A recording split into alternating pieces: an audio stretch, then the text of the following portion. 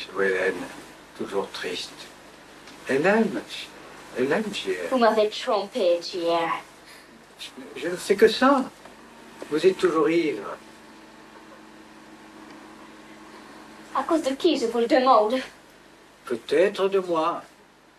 Mais euh, si vous m'étiez vous-même resté fidèle, je serais revenu à vous. Elle est folle cette archive. Ouais, mais en fait, elle est, enfin, elle est folle parce que euh, parce qu'on l'imagine peut-être pas comme ça, mais bon, moi je trouve pas qu'elle soit si folle que ça, mais dans, dans le quotidien, je le voyais plus dans un rapport à la culture populaire. Il aimait bien, mais même regarder des émissions samedi soir euh, de, de divertissement, euh, la musique populaire, il aimait beaucoup.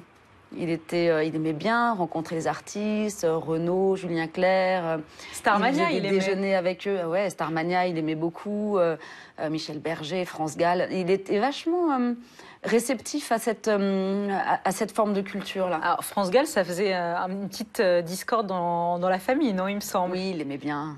Il aimait un peu, un peu trop. non, Et votre mère n'aimait pas trop qu'il aime bien France, Ouais. France Gall. Je sais que, je sais pas pourquoi ma mère. Elle, euh, Elle bloquait sur France ouais, Gall. mais parce que je pense qu'il la trouvait vraiment très jolie. Euh, Et ça énervait votre mère. Ouais, mais euh, non, mais il était, il était très sensible à ce type de.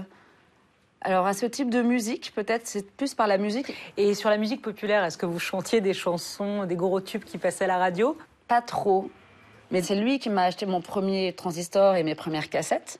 Donc, justement, j'avais quoi? J'avais Renault. euh, Je me souviens, je lui avais demandé Laura Branigan. Je sais pas si vous vous souvenez, euh, Self Control.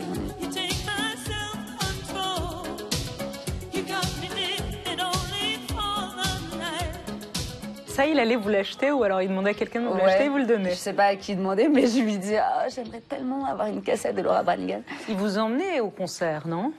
Il m'a amené un petit peu au concert. On est allé écouter Barbara. Quand Euh, vous allez voir Barbara justement au concert, après il va la voir en- dans les loges? Ouais, il était allé la voir dans les loges et tout, mais bon. Mais euh, c'est toujours bizarre de rencontrer quelqu'un en étant soi-même euh, personne, enfin, en, en- en ne pouvant pas dire, qui, enfin, en étant là sans être là, quoi. Enfin, et il vous présentait en disant c'est Mazarine sans Voilà. dire c'est ma fille. il- voilà. Mais il disait quand même mon prénom. Hein, mais euh, après, Donc vous n'étiez pas personne. Oui, mais. Enfin bon, après, ça, ça renvoie à d'autres choses où euh, la difficulté d'être quelque part euh, dans un endroit de visibilité tout en devant être invisible, donc c'était toujours un peu compliqué pour moi. Donc j'ai pas. euh, Des bons souvenirs non, c'est forcément. pas des souvenirs de. Ah, c'est génial de pouvoir toucher Barbara. J'ai pas ce truc-là du tout.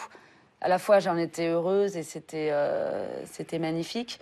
Mais en même temps, moi, j'étais toujours dans un entre-deux, là, pas là. Bon, mais c'est pas grave.